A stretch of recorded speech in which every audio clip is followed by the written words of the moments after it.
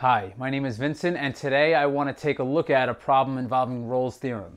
So we have verify Rolle's theorem for f of x equals sine of 2x on the interval from 0 to pi. So for a problem like this, I think a lot of students go wrong because they have trouble understanding what the actual theorem means. So for Rolle's theorem, we need to show three conditions are true.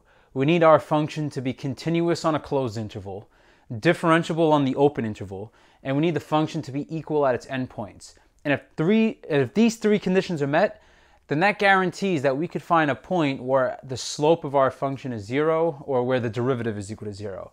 But those words on their own are very confusing. So my best piece of advice would be to practice drawing the theorems out. And in this case, we're going to try to draw out Rolle's theorem.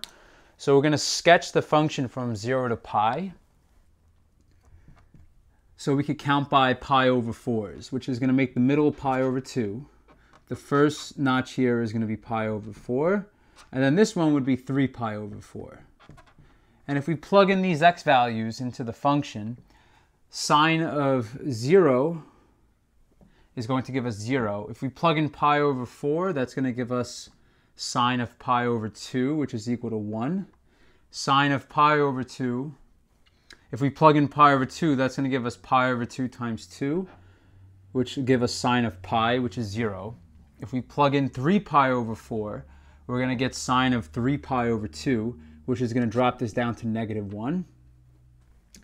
And if we plug in pi, sine of 2 pi is 0. So sketching this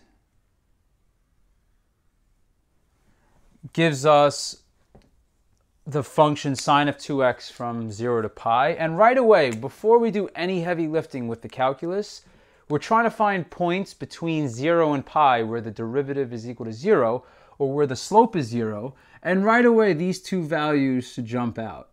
At pi over 4, the slope is 0.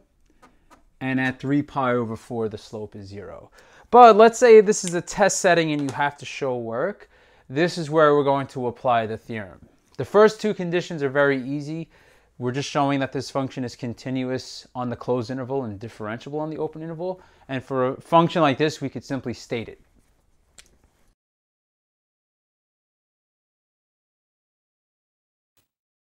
The next thing we should show here is that the function is equal at its endpoints. So all we have to do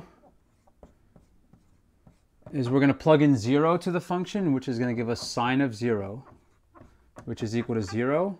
And we're going to have f of pi, if we plug in, it's going to give us sine of 2 pi. And this is also equal to 0. So since the three conditions are met, the function is continuous on the closed interval, differentiable on the open interval, and the function is equal at the endpoints of the interval, this tells us that the conclusion of Rolle's theorem has to apply here. But to verify that Rolle's theorem applies here, we're going to find the derivative of our function. So we're going to use chain rule, and the derivative of sine of 2x is going to give us cosine of 2x times the derivative of the inside is 2. So this tells us the derivative is 2 cosine 2x.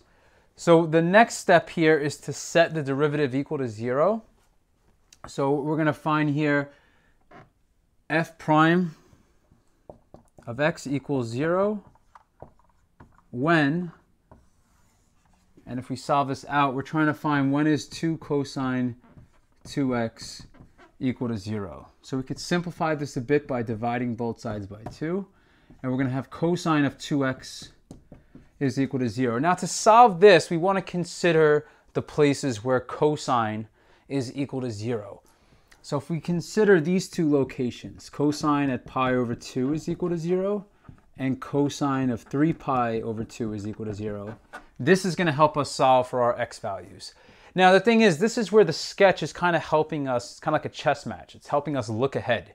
The goal is to show that it's going to be at x equals pi over 4 and 3 pi over 4. And this is because we have to stay between 0 and pi. There are infinite values where the derivative is 0, but we only care about the ones between 0 and pi. So if we set the inside equal to pi over 2, we're going to have 2x equals pi over 2. And we can multiply both sides by a half. And this tells us the first value is x equals pi over 4. But we're going to find all the values where this is true. So to show algebraically that our next value is 3 pi over 4, we're going to set the inside of our derivative equal to 3 pi over 2. So we have one solution here, but we set 2x, 2x equal to 3 pi over 2. And to solve this equation, we multiply both sides by a half. And this gives us x equals 3 pi over 4. So just to summarize what we found here, since the three conditions of Rolle's theorem were met, we're guaranteed to find values between 0 and pi where the derivative is equal to 0. And those two values, x equals pi over 4 and 3 pi over 4, satisfy the conclusion of Rolle's theorem. And it's very important that the values that you find are between the two endpoints. So these values here are good. And once again, they represent the locations where the slope of the function is zero, or we could say where the derivative of the function is zero. Okay, well this is going to conclude this video on Rolle's theorem. If you found this video helpful, please click like and subscribe below, and thanks for watching.